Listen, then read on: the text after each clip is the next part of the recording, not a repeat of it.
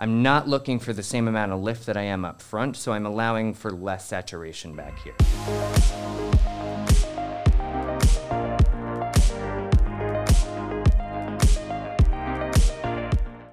Hello, good morning, good afternoon, good evening, whatever time of day it is. Happy to see you. My name's Brian Haire. I'm here with FSE Live for your Wednesday color class. And today we're going to be going over some really nice handcrafted highlights for super short hair. So the look of this is going to be brightest around the face, which is what you're going for when you're trying to get that sun lightened effect because that's the hair that sees the sun the most. All right, so one of the things that you're gonna want to be looking out for when it comes to this type of highlighting is the hair that's the longest in the haircut. Because just like when you're doing long balayage and thinking about how those ends, they're older, they would have seen the sun more, so they would be lighter than everything else. This is the exact same thing, just shrunk down into something smaller. Uh, so we're gonna get quicker transitions to get that nice sunlight and effect. So I'm going with Paul Mitchell Skylights. It's great to work with. It's got great consistency, a good predictable lift, which is always important. 40 volume, because we don't mess around. Put in exactly that much developer. So here's my toothpaste consistency. All right, this time paddle's big because we're actually gonna use the paddle as part of the tool for doing this. So this is gonna be about timing. So this is gonna be a technique that I'm gonna teach you.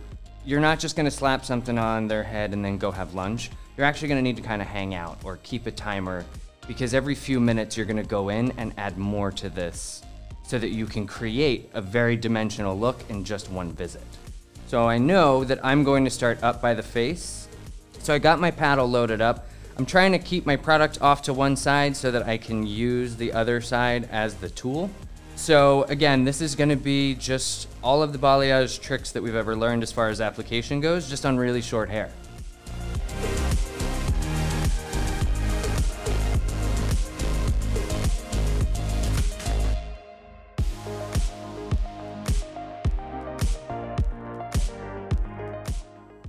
We're gonna just work back as far as you want to. Again, create that visual in your mind of how you want this light to sit when it's all done. I want it real light up around the face.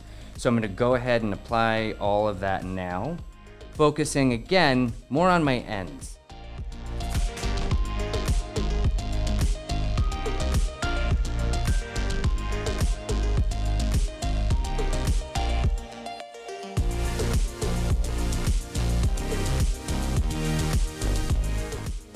So again, I'm looking at this and like, okay, we're covered here on this side.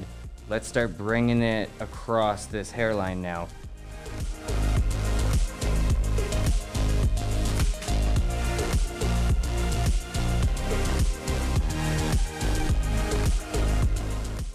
So don't worry about necessarily making it too blonde. Right now, we're really just creating focused areas where the highlights will be the brightest because eventually we're gonna come through and have lightener on most of the top of this head, but I want these to be really focused highlights once everything has been busted up.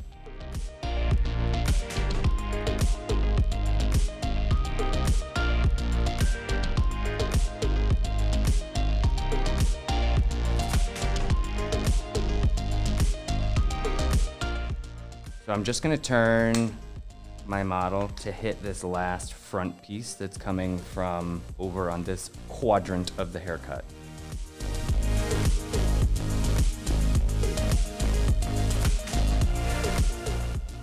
Because I want this to process for a good solid few minutes on its own because this needs to be more lightened than everything else on the head. Then, we've now begun highlighting this, so you want to start stepping back into the hair. Now is when I would look at this haircut or the rest of this haircut and start finding any areas of it where the hair is a little bit longer and would probably see more of the sun. So I'm seeing up here where it is, we'll be getting some sun exposure up top, but there are some areas where it's a little bit longer style wise. and I think it'll just look cooler to hit those first. I'm not focused on getting all the way down to the root with those highlights. This is gonna be really just hitting those ends because just like this, I want this to be lightest. I want the ends to be the lightest part throughout the rest of the haircut.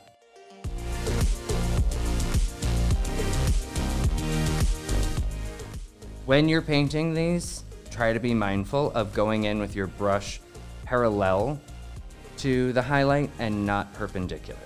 Just with the tip of the brush, I'm just looking to see what I can grab because there's hair that's already in a highlight. All right, leave it alone. So I'm flicking and I see, all right, here's some hair that I can get to highlight. So I'm gonna do it. Grab it, use the end of the paddle to hold it,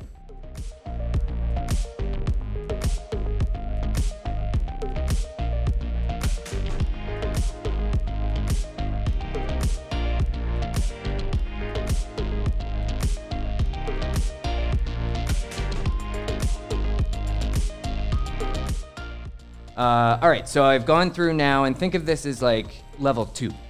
So I've got my level two highlights in here if you want to jump overhead. I didn't come all the way into the back back because this is the stuff that I'm gonna need to transition my super bright front into the untouched back. So I'm not really looking to have anything super bright back here. So I'm really going to wait and highlight this stuff last.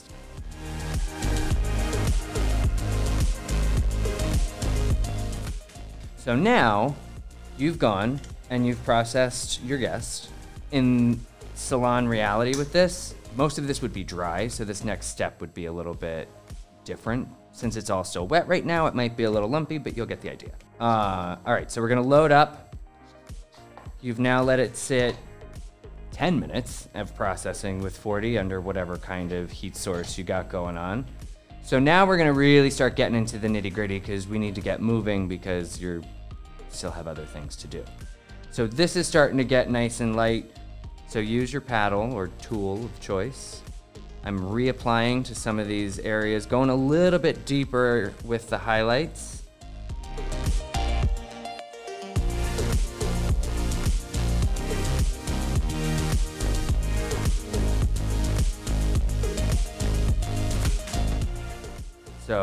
Coming into this top here and seeing, should probably go a little deeper with this highlight.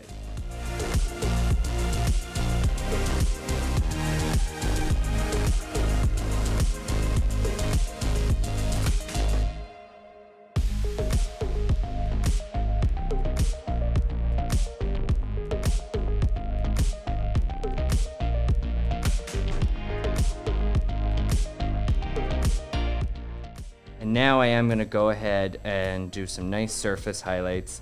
Not can I'm not focused as much on my saturation back here because just like I would teach in, you know, a, a long hair balayage class, you can dictate how much lift to expect by your saturation. So again, like I said in the back, I'm not looking for the same amount of lift that I am up front, so I'm allowing for less saturation back here.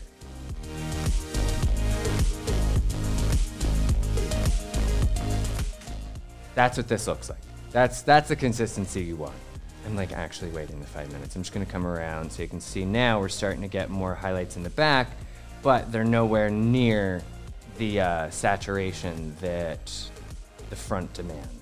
So after you process this, you could either be done. I like to really go in and make sure from this point that I give it one last, like what I did with my, uh, my pre-done, like, all right, it's pretty much done you know what, let's go in and really just bust everything up to make sure that I'm getting that last little touch of dimension. And then I'm gonna start breaking it up just to push it in a new direction. Not so much for any other reason than to see if there's anywhere that has clearly been missed. Sort of just picking it through to make sure that there's no areas that have been completely ignored because that will stick out like a sore thumb.